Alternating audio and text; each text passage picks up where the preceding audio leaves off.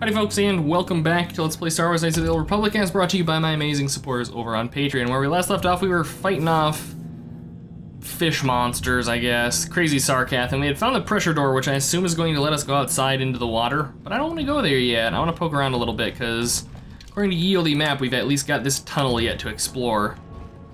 So, I want to finish everything in here before we necessarily go outside. Oh, a footlocker. Several footlockers. Making sure there's like nothing lurking around the corner. Come in here, there's like, you know, an aquatic rancor or something, I don't know. Hyper battle stimulant. Sure. All these consumables that I'm never gonna use, just like these shields that I have. You know, I've got everybody in my party equipped with the energy shield. Ow, and I don't use them. All right. Some more insane Selkaths and some gas mines, and it looks like another another um, door out. Alright, so that's enough of that, and we'll just cut this dude down. There we go. Is this in fact? Yes, another pressure door. Alright. Pop another heal on us. All the dramatic combat music is dramatic. Nice guy. Nice job. Who triggered it? Jolee, of course. This is one of the tough ones. These guys are worth 500 experience points. Yeah. I'm actually kind of curious. How am I looking? Hello? 116,000 of 120. We're, we're no eking problem. ever closer to it. it. Alright, and yeah, this just kind of spins around there. Although there's a side area here that I would not have I think I've been poisoned. noticed otherwise. Oh, and I've been poisoned. How sad. Giant water shark things. That's always interesting. And a plasma grenade. I think that might be the first one of those we've found. What does this do? 36 points of damage, heat damage in a 4 meter area. DC 15 save for half damage. Release a quick burst of an incendiary agent. So they're basically phosphorus grenades. That's totally legal. Okay, hey guys, how you doing? Um, say hello to Canderous. see, I shock the crap out of you? Yeah! That was surprising me just how much range that this shock has to it. I was not expecting to be able to hit that guy in the background, but hey, we got away with it. Oh, and there was another one of you guys lurking in here. Sneaky little Selkath. Canderous is having none of it and just murdering everything, that's what he does. Oh, we got some debuffs on us. From what, I have no idea. Energy projector. Credits and a hyper battle stimulant. You have nothing. I'll go ahead now. I don't even need to top us off. Nice. And an advanced repair kit. Okay, so now I want to say we're probably done in here. I have some remains with general crap on them. Okay, so I have two ways out. I I want to say, you know, I would assume they both lead to the same area, but I'm not entirely sure. Let's see, is episode 52. What I should do though is look up online and see how close we are to finishing this. I like it feels like we're only halfway into the game, but I don't know. I don't know. Hostile environmental conditions, environmental suit advised. Well, we have an environmental suit, so I assume I have to actually equip that, maybe? No. All right, well, let's see if it kills us. We're either gonna be dead or in, yeah, oh my God. You guys, we're professionals. And we have sonic emitters. Okay, I think they said to use, oh my god. Oh, this is the best thing ever. I think they said to use the sonic emitter if sharks get too close. Oh, we got some survivors. Well, a survivor. Is he gonna get eaten by a shark? Do they have to show me the power of the sharks? Oh man, this this move speed is horrible. Who's there? You're not Selkath, I can see that much. Are you another rescue crew? Uh, I'm Devon. The Republic sent us down to investigate. I'm a merc the Republic hired a couple days ago to investigate. but all we found was a bunch of insane Selkath killing everything that moves. All my companions are dead. The Selkath swarmed over us. There were dozens of them. And they, they looked wrong somehow. Like something had changed inside them. Insane or something. They looked wrong. this whole place smells wrong. Like an Aurelian Ergoth egg gone bad in the hamper. Doesn't smell so bad to me, old man. Must be those reliable and finely tuned senses of yours, mercenary. Oh, I'd have gone back to the surface long ago if this complex hadn't been overrun by all those crazy Selkaths. There's no way for me to get to the submarine docking bay. Uh, what are you doing in the underwater section of the facility? I discovered a way to get to the bay and seal off the rest of the base. I just have to find the Kolto harvester they built on the edge of the Hrakert Rift. It's got an emergency override to open the doors to the submarine docking bay. And I could get in from the outside. I figured my only chance was to slap on an environment suit, head out onto the ocean floor, and check that harvester out for myself. Besides, it's gotta be safer out on the ocean floor than back in there with all those crazed Selkath mutants running around looking for dinner. Um. Alright, I'll come with you. I'm not spending another minute in this facility. Not with those psychotic fish people all over the place. Psychotic fish don't try to dodge as much. I'm heading out to the ocean floor right now. It leads to another complex of buildings. Going through them is the only way to reach the Kolto harvester. We should probably stick together, but I won't wait around in here with the Selkath. You can catch up with me if you want. Down the hall and through the doors on the right. I'll be waiting on the ocean floor where it's safe. Yeah, with all the sharks. How come you get to move quick? I don't get to move quick. Wait up. Wait. My move speed is hampered by things and stuff. I don't know.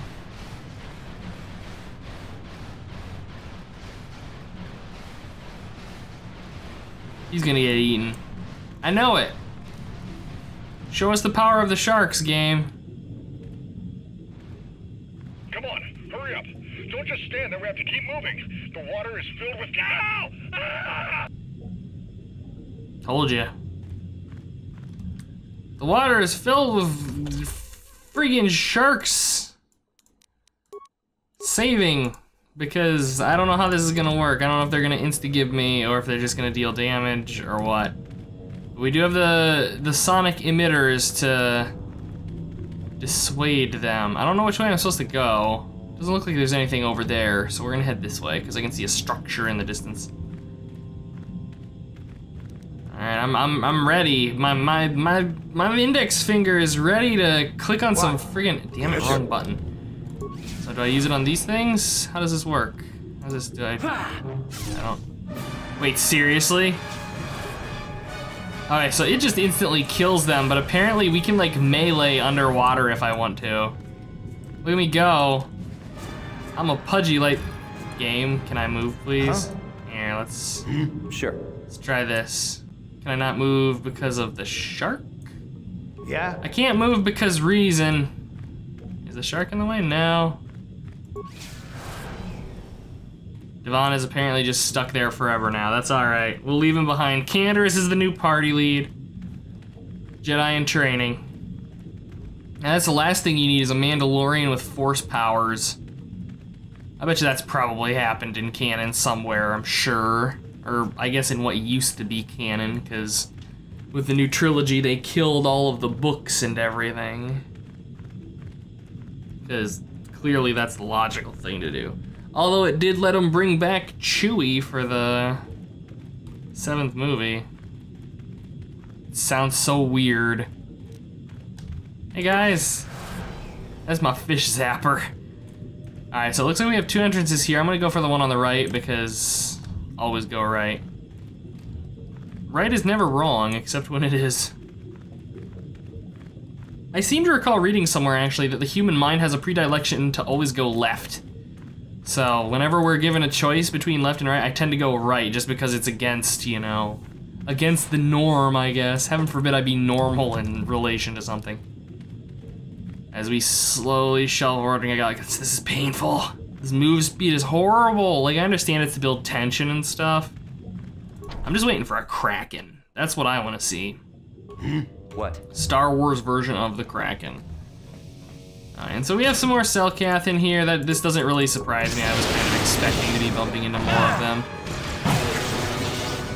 So I will go ahead and murder them as they poison grenade me, heal the party, and then cut this guy down. There we go, and we are nearing level. I just realized earlier when I moused over myself to check the debuff that it shows me the XP we need to gain a level, 1500.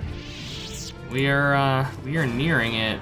So a Republic soldier with a breath mask and an Echani dueling shield. I think the breath mask is poison resistance, maybe? Yeah. Medium armor proficiency restricted to non-Wookiees. So I think I'm actually gonna give this to Canderous because I I want to say that's probably gonna be more useful than a couple points as will save. Plus, you know, then he gets like the evil Sith mask thing going Sure. on. So why not? Okay, and I actually want to check really quick what level we're gonna be. We're gonna be 16th level. Okay. Two more levels after that, and we get Force Storm, which is where everybody dies. Hey guys! Can I No, no, you can't come in here. You'll let the Firaxa and the Selkath in. No, stay out! Stay out! I won't let you open the door for those monsters to get in. I'll stop you. I'll suck all the pressure out of the chamber. That'll stop you. Kill them! Kill them now! Oh wow, so they're crazy. Guys, you might wanna. You may want to assist me in this, or we're going to die. Yes? 60 seconds to complete depressurization. what am I doing? Oh, I can't breathe. 4 seconds to complete depressurization. Here. Uh, 48 seconds to complete depressurization. Yes? come on, guys. 42 seconds to complete depressurization. You, useless, you guys are getting No. dead. The Firaxa will get us. No, the Selkath are coming. No. No! No! Ah! Uh, stop screaming. Ah, no! You. Sammy. Sammy, calm down. I don't think they're here to kill us. Ah, Kono! Kono! Are. are they? Yes. I think they're here to help us. I. I'm sorry for what I did. Uh, I don't know what came over me. I, I, I just panicked when I heard someone outside the door. Please forgive me. I'm just so scared. We're both just scared. When the Selkath went crazy, I thought everyone else except me and Sammy went mad. We had a few people outside the station when it happened. The Frax and sharks just tore them apart. It was it was like they were frenzied. The next thing we knew, our Selkath researchers started screaming and, and, and, and clawing at everything around them. My team, my team was torn apart and eaten before my eyes. Sammy and me, I, I thought we were the only ones left. We heard the Selkath outside the doors every once in a while, and those strange noises echoing through the base. We thought everyone was dead. Dead or insane. I must have been hysterical. I, I don't know what I can say. I truly apologize for the horrible mistake I was making. I'm Kono Nolan, and this is Sammy. We were scientists working here on the Hrakert Rift project. You have a lot to answer for. Look, I'm sorry. I have just been under a lot of strain recently. You know, the whole thing about having my entire research team devoured before my eyes. Kono, Kono, calm down. Don't talk to him like that. We've gone through a lot, and we said we were sorry for the mistake we made. just. I'm sorry for my actions, but. But what are you doing here? Uh, I'm on a mission for the Jedi. Con- Actually, no, the Republic wants me to find out what happened here. Well, we're not too clear ourselves just exactly what happened. The work teams were outside in the rift near the vent. Then there was this rumbling, and my head felt like it was splitting open. This this monster rose up from the rift. It was a Firaxa shark, I think. Bigger than anything I'd ever seen before. Bigger than our submersibles. It was like it was screaming inside my head. Then all the Selkaths started screaming too. And they turned on us. He turned on you. It was like they couldn't control themselves. Like the sound that the monster was making in our heads drove them insane. Well, maybe it was protecting the ruins by the rift. It could have been. It might have a lair in the Hrakert Rift near the Kolto vent. Hmm. That might explain a few things too. Like what? Like why it reacted so violently when our construction efforts got closer to the vent. And also, why it's so large. It must be feeding off the Kolto. Would have to be ancient indeed for it to reach that size. With Kolto as a food source, And all those other Firaxan sharks? Those might be its offspring. which would be why they all swarmed when it called out to them. Children coming to protect their mother. So what can I do about it? The Firaxan sharks have always been a serious problem. We had some blasters and projectile cannons to defend against them, but they still got some of our workers from time to time. We were working on a soluble chemical compound that would drive them away. Something that smelled or tasted repulsive to them, but we never got it working right. Oh, I think not. Even flawed like it is, it should be ideal for this situation. No, it's not working right. You don't know what it'll do. What are you talking about? The repellent we made was supposed to drive Firaxan sharks away, but we never got very far in its development. The one we tested instead was violently toxic to them, rupturing their outer skin in seconds and preventing them from drawing oxygen from the water by clogging their intakes. Which is exactly what we need in this situation. Something to kill that monster shark that destroyed our station. But we don't know how else the chemical reacts. We only tried it in a controlled environment. In the open ocean, who knows what it could do? It could even affect the Kolto. We know exactly what it'll do. It'll kill the shark. That's what we designed it to do. Hmm, what else could I do? You don't need to do anything else. We have a canister of the toxin here right now. We were working on it before the giant Firaxan drove all the Selkath insane. All you need to do is insert it into the main Kolto harvester and have it vented. Get away as soon as you can. We don't know how much worse it'll affect the giant Firaxan shark. Mm, what other choice do I have, though? Well, the monster seems to have been driven out by the machinery we installed at the edge of the rift. We've seen it out there on the cameras, bashing itself against the machines. I think if you could destroy the machinery we installed, the shark would calm down and retreat back into its lair inside the rift. Mm, how would I do that? You can reprogram the harvesting machines to overpressure their self oxidizing fuel so that the fuel tank canisters will rupture and the entire machine will destroy itself. The hydrolium gas we use is a gas at 1 to 3 million sangin, a liquid at about 4 million sangin, and a solid above that. When it's a liquid, it's very explosive. If you inject enough of the hydrolium gas into the tank, the pressure will be so great that it'll turn to liquid form and start a chain reaction inside the machine. But.